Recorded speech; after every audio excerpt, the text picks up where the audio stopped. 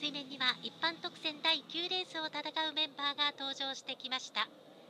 さて本番はどんな並びになるでしょうか。まずは9レース対戦メンバーです。1号艇香川の古田裕樹2号艇大阪の藤山翔太。3号艇東京の後藤誠也。4号艇長崎の本村大。5号艇長崎の山崎康介。6号艇佐賀の赤嶺和也。以上6名による対戦です。本番も真っ先にホーム側に回り込んでインを確保したのは6号艇の赤嶺和也です。地元のベテラン赤嶺シリーズラストはインドリに出ました。昨日同様にこのまま逃げ切ることができるでしょうか。6号艇赤嶺そして2コースを伺っているのが1号艇の古田裕樹です。昨日はまくり出しての勝利もありました。古田今日の前半は大きな着ですがここは2コースからどんな戦いを見せるのか。そして3コースにどうやら2号艇藤山翔太です。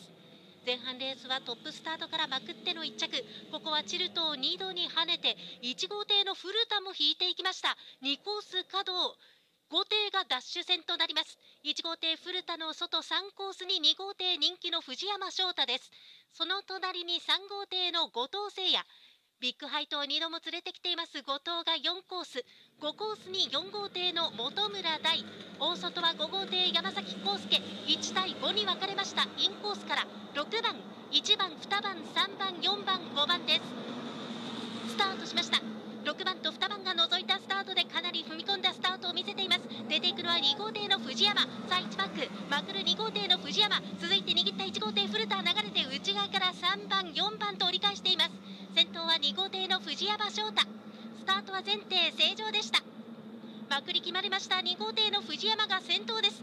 2番手は4番3番5番1番と4艇固まって2マーク。トップで回る2号艇の藤山。続いて握り合った4号艇3号艇内側から5番1番と折り返して2番手集団からは4号艇の本村が抜け出してきています。現在前の2人は2番4番。3番手は3号艇の後藤が一歩前。内側から5番1番と追いかけます。西道マーク先頭2号艇の藤山。続いて4号艇の本村。3号艇の後藤が握って内側から1号艇の古田。3番手は3号艇の後藤がリードを奪いました。これで上位3艇は2番4番3番となっています。先頭はまくり決まった2号艇の藤山翔太です。2周2枠を先頭で折り返し続いて4号艇の本村3号艇の後藤が3番手ですホーム直線コース上位体系は2番4番3番でレースの方はこれから最終周回です。1号艇古田4番手5番手に5号艇の山崎最高峰に地元6号艇赤峰3周1マークトップ2号艇藤山。続いて4号艇本村3号艇後藤と折り返して最後のバックも上位体系は2番4番3番となっています。このまま243で入れば3連単のオッズは24.2倍を示しています。ラストタンマーク先頭は2号艇の藤山です。シリーズ最終日は連勝ゴールへ。2番手が4号艇の本村大。3番手3号艇の後藤誠也。最後迫ってくる1号艇の古田さあ届くかどうか。3番手接戦。先頭2番五輪。4番五輪。1番と3番は接戦で五輪。5番五輪。